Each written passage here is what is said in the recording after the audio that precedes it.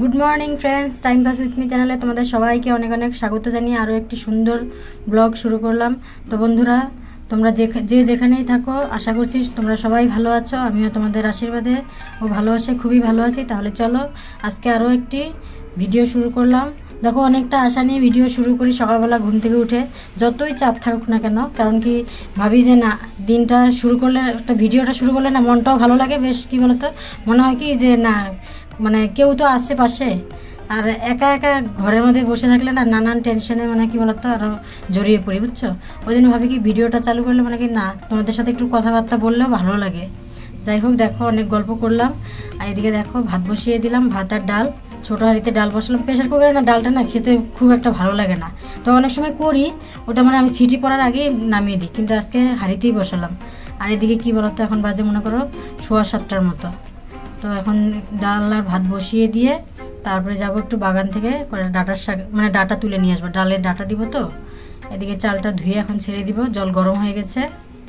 তো এদিকে কি বলো তো, এদিকে জুয়েল শুয়ে আছে, ওর আজকে পড়া ছিল না, আর তোমাদের দাদা ভাইও এখন উঠবে। তো উঠে তারপর হচ্ছে ওরও, দেখো সকালবেলা ফ্রেশ হইতে লাগে, তারপর হচ্ছে কি বলতো আমি বললাম কি তাহলে একটু পরেই উঠো, কারণ কি ও তোমাদের দাদাভাই উঠে রিয়াংসের পাশে মোট কথা কাউকে থাকতে হয়। নইলে না রিয়াংস খুব ডিস্টার্ব করে, বুঝছ? উঠে পড়ে। আর সকালবেলা উঠেই মনে করো বাইরে বৃষ্টি বৃষ্টি ভাব, আর খুব মানে কী বলতো, বাইরের জলে হাঁটাহাঁটি করবে, একটা ঠান্ডা লাগার ভয় থাকে। ওই জন্য আমি না, তুমি শুয়ে থাকো, একটু পরে উঠো। তো চলো, এদিকে দেখো, হাঁড়িতে চাল ছেড়ে দিলাম। আর সাথে হচ্ছে ওই যে ছোটো ছোটো ঝিঙ্গা আছে ফ্রিজে ওটা করব। এই দেখো, সকাল সকাল শুয়া পোকার দেশে চলে আসছি। তো ভাত ডাল বসিয়ে আসলাম। এদিকে হচ্ছে কি বলতো তো ভাবলাম যে ডালের মধ্যে কি দিব? সেরকম তো সবজি টবজি কিছু নেই। ডাটা নিতে আসলাম। ভয়ও লাগতেছে, জানো? দেখো, বাবা রে বাবা। তুললাম। ডাটাগুলো তো এমনিও নষ্ট হয়ে যাচ্ছে। বাবা। মাটি তো ভালো শক্ত। কি হারে শুয়া পোকা হচ্ছে ও সর্বনাশ। ও বাবা, এই দেখো।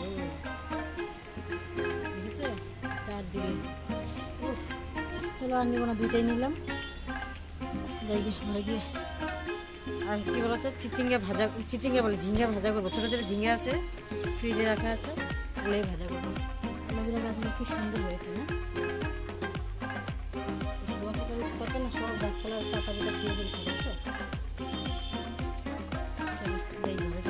গল্প করার সময় না তোমরা তো অনেকটা বেলা হয়ে গেছে, সাড়ে আটটা বাজে। আজকে লেট হয়ে গেছে ঘুরতে ঘুরতে বৃষ্টি। তো বন্ধুরা দেখো, এই যে ডাটা পরিষ্কার করে একবারে ধুয়ে টুয়ে নিয়ে আসলাম। পাতাগুলো সব ফেলে দিলাম জঙ্গলে। এই যে ডাল, লঙ্কা দিয়ে দিলাম, এদিকে হচ্ছে লবণ লবণ লঙ্কা লবণ দিয়ে দিলাম, আর ফেনাটা কেটে নিচ্ছি ডালের এদিকে ভাত হয়ে গেছে। আর একটু হবে। এখন ডাটাটা কেটে নিব ডালে দেওয়ার জন্য। আর এদিকে ঝিঙ্গা দেখো, এই যে এগুলো ভাজবো। কি আর বানাবো বলো? এই তো। আর কালকের একটুখানি তরকারি আছে। পটলের তরকারি আছে অল্প। এটাকে একটু গরম করে নিব এখন। আর এই যেটা আছে আমি কচু ঘন্টটা। এই তো আজকের মানে সকাল দুপুরের মেনু তারপর আবার রাতের বেলা দেখা যাবে। চলো, আমি ডাটাগুলো কেটে নেই। সাড়ে আটটা বেজে গেছে, কারণ কি বলতো, আজকে অনেকটাই লেট হয়ে গেছে। চলো, সঙ্গে থাকো, তোমরা দেখতে থাকো ভিডিওটা। দেখো বন্ধুরা, ডাটা তুলে নিয়ে আসলাম। এখন একবারে পাতা টাতা ছাড়িয়ে এখন দেখো কেটে নিচ্ছে। ছাড়িয়ে নিয়ে আসছে বাইরের থেকেই, কারণ কি ডাটা পাতাগুলো না সব পোকাতে খেয়ে নিয়েছে, বুঝছ? ভালো থাকলে তাও খাওয়া যেত। আর এদিকে দেখো ঝিঙেগুলো নিয়ে নিচ্ছে ওগুলো দুই ফাল্টি করে ভাজা করব। আর এখন আর কিছু করব না, বাসি তরকারি অল্প অল্প আছে। এদিকে এখন ডালটা ফেনা কাটিয়ে নিলাম। আর হচ্ছে কি বলতো, এখন ডাটাগুলো ধুয়ে ছেড়ে দিব। আজকে আর ভাব দিব না, এখন আর সময় নেই তো। নাহলে তো অনেক সময় চিনি দিয়ে একটু সিদ্ধ করে নেই। আজকে আর সময় নেই। তো একবারই ডালটা দিয়ে দিব, ডালের মধ্যে, তা একটু হালকা চিনি দিয়ে দিব। ডালের মধ্যে ডাটা দিয়ে দিলাম। এদিকে এখন চা বসালাম। তো চাটা হোক ভাতও হয়ে গেছে। চলো এই যে আমাদের রিয়াংশ বাবা উঠে পড়েছে। একবার ব্রাশ করে চলে আসছে। বুঝছ? দাঁত মাজলো। তারপরে আমাকে বলে, তুমি আবার দাঁত মাজো। আবার ওর সাথে একটু দাঁত মাজলাম। গুড মর্নিং বলো বন্ধুদেরকে। বলো গুড মর্নিং বলো। টাটা বম্বো। টাটা বনিং নাকি? বলো গুড মর্নিং। বলতে পারো না? টাটা করব আর এগুলো দেখো এই যে কতগুলো কাটা হয়েছে রেয়ার সাথে আমি কাটতেই পারছি না। ও আমাকে বারবার ডিস্টার্ব করছে। ওই যে এখন এটা দিয়ে লেখবে ওটা দিয়ে লেখবে যে শুরু হয়ে গেছে ওর অত্যাচার। সকাল হলো আমার বাবার শুরু। চলো রেয়াংশকে একটু খাবার দাবার দেই। তারপরে হচ্ছে কি খাওয়াবো কর্নফ্লেক্সই খাওয়াবো? আমার বাবারটা খাবে এখন। চলো, ডালটা ফোড়ন দিতে হবে। তো বন্ধুরা দেখো, এদিকে হচ্ছে তোমাদের দাদাভাইয়ের টিফিন বাটি রেডি করলাম। এদিকে ঝিঙ্গে ভাজাটা দিয়ে দিলাম, বারবার ছিচিঙ্গে আসতেছে আমার মুখে। আর হচ্ছে সাথে ডাল দিয়ে দিলাম আর লেবু দিয়ে দিলাম। এদিকে তোমাদের দাদাভাইকে কালকের কচু ঘন্ট আর লেবু আর ডাল দিয়ে খেতে দিলাম। এদিকে রেয়াংশের হচ্ছে কি বলতো, ওর খাওয়া দাওয়া হয়ে গেছে। আর আমি হচ্ছে এখন হলো চা নিয়ে আসলাম। কারণ কি চাটা একবার গরম তখনকার নামিয়ে রাখছি, কিন্তু আবার গরম করে তারপরে নিয়ে আসলাম। কারণ খাওয়ার টাইমই হচ্ছে না, বুঝছ? এর এর জন্য খাবার বানাও ওকে রেডি করো, ওকে দাও ওকে দাও, এই তো করতে করতে আমার চা খাওয়ার আর সময় হয় না। ওই জন্য সকালবেলা আমি চাটা পরেই খাই বেশিরভাগ সময়। চলো বন্ধুরা, সব কাজ কাজকর্ম মোটামুটি কমপ্লিট বাসন টাসন মাজা, গ্যাস পরিষ্কার করা হাফসাই সিরিয়াংশের সাথে কুস্তি করতে করতে। এদিকে হচ্ছে এখন এই যে বিছানাপত্র গুছানো হয়ে গেছে, দুই ঘরেরই। রেয়াংশকে স্নান করিয়ে নিয়ে আসলাম, এখন টিপ পরাবো, তারপরে ঘরটা মুছবো, তারপর হচ্ছে আমি স্নান করতে যাব। স্নান করে পুজো দিতে হবে। তো চলো, রেয়াংশকে আমি টিপটা পরিয়ে দেই। তো বন্ধুরা, চলো, রেয়াংশকে টিপ টুপ পরিয়ে এখন আমি যাব স্নান করতে। আর এদিকে জুয়েলেরও প্র্যাকটিসের টাইম মোটামুটি হয়ে যাচ্ছে। তো ওকে বললাম, দাঁড়া, আমি স্নান করে আসি, তারপরে তোকে ভাত দিব। আর হচ্ছে কি বলতো স্নান করে পুজো দিয়ে তারপর ওকে ভাত দিব। আমি তুই একটু পরে রেডি হ।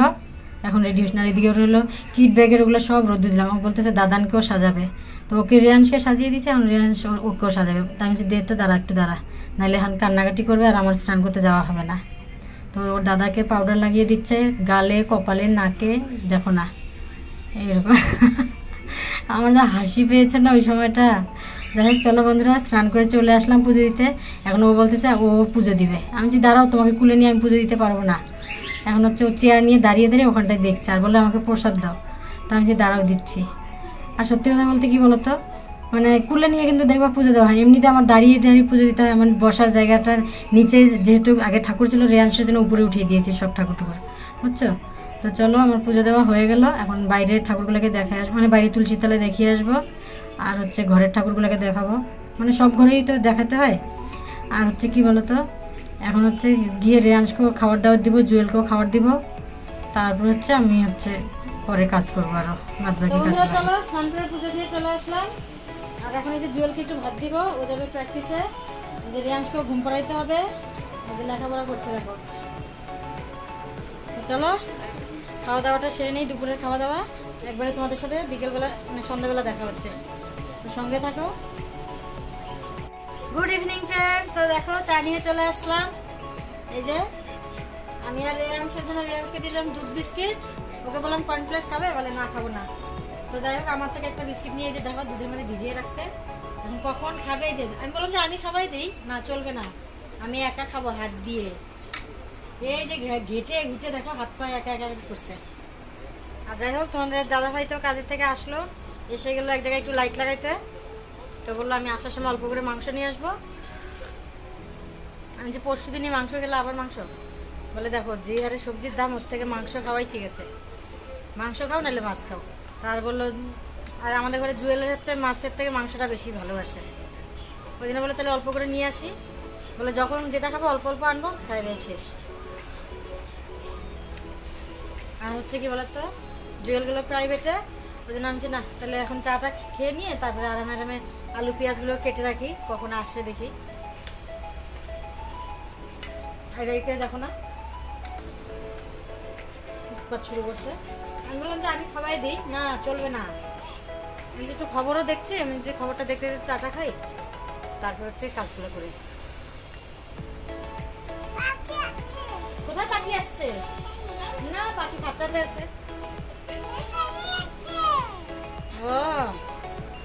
ওই দিন দেখছে না, ওইটাই বলছে।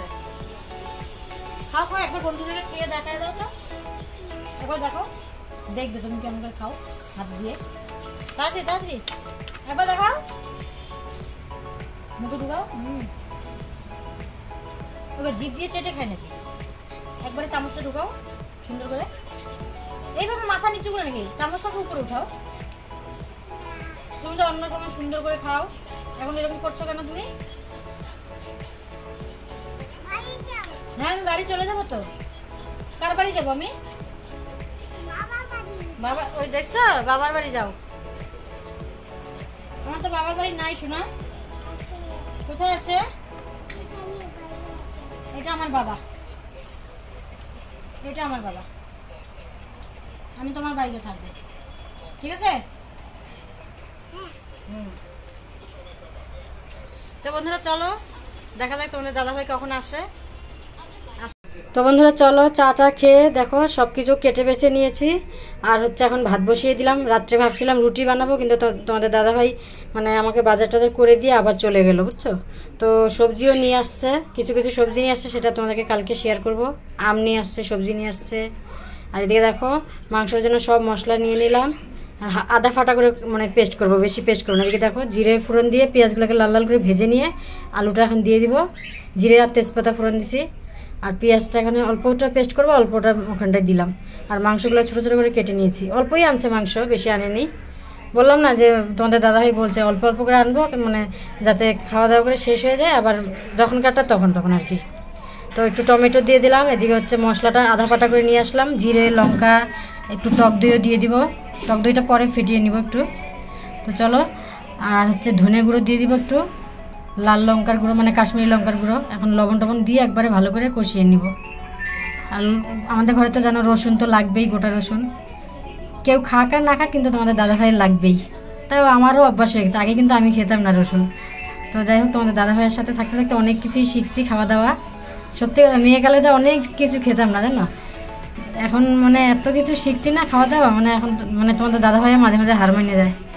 চলো এই যে একটু টক দিয়ে দিলাম, এখন একটু মিক্সিতে ফেটি ফেটিয়ে নিয়ে আসি। দিয়ে ভাতও আমার হওয়ার দিকে। একটু ধনে পাতাও দিয়ে দিলাম, মাংসটার মধ্যে একটু গরম মশলা এখন দিয়ে দিব। আবার নামানোর আগে আগে কিছু পরে দিব আবার একটু, বুঝছ?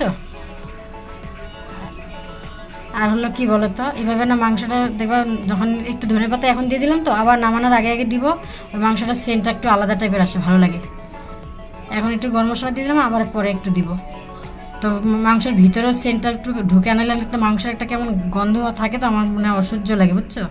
এতে হালকা একটু চিনি দিয়ে দিলাম। তো কালারটাও সুন্দর আসে আর স্বাদটাকেও বেশ বাড়ায়। আমার সব রান্নাতেই মোটামুটি দেখবে হালকা হালকা করে চিনি দিই আমি, ভালো লাগে। আর ঝোল দিব না, বুঝছ? এইভাবেই কষা কষাই নামাবো। গরম গরম ভাতের সাথে এক তরকারি ভাত। একটু ডাল আছে সামান্য, এই এখন ধনে পাতা দিয়ে দিলাম। আর সামান্য একটু গরম মশলা। তো বন্ধুরা, চলো আজকের মতো ভিডিওটা এখানেই শেষ করছি। দেখা হচ্ছে নেক্সট ব্লগে সবাই ভালো থেকো, সুস্থ থেকো। টাটা।